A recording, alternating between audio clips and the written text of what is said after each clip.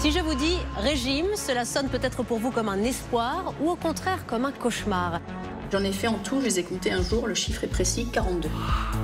De plus en plus attentifs à leur ligne, les Français n'hésitent pas à recourir aux nouvelles méthodes en vogue. On a un petit podomètre qui nous dit combien de pas on a fait. Mais fonctionnent-elles vraiment?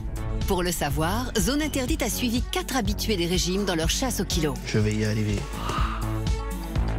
Aux États-Unis, une Française fait fortune avec un régime inspiré du yoga, la méthode douce.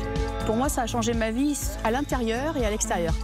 Pendant que d'autres tentent le régime à la dure, version commando. Fini la pizza, ce truc va te tuer. La vérité sur les nouvelles méthodes minceurs, c'est dimanche, 20h55